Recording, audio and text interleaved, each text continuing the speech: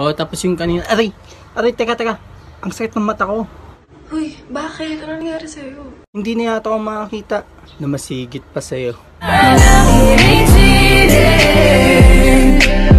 You've been so